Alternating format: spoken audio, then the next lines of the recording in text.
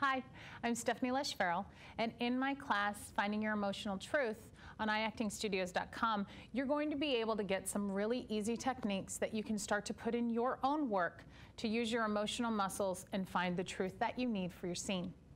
During the class, we talk about breaking down a script, being able to add the details that you need before you start the work, so that when you are working with your partner, all of your focus becomes about your partner and finding the truth in the present moment and not thinking about the details or the things that you want to have happen, but finding the truth in the present moment that you're in as an actor.